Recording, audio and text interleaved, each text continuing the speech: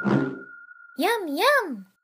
William Vaughan here with a quick walkthrough of modeling a figure eight knot in Modo. Start by creating a circle plane with six sides at the origin. Rotate the plane 45 degrees in the x-axis and move it away from the origin in the z-axis. Duplicate the poly and move it to the opposite side of the origin in the z-axis. Create a poly strip with six segments running through the center of the two polys. Select the verts in a figure eight pattern as seen here. Create an open curve using the keyboard shortcut Shift-O. Cut and paste the curve into a new mesh item and hide the other mesh item. Open the render preview and enable render curves. Adjust the radius attribute to your liking. Oh, Look at the time.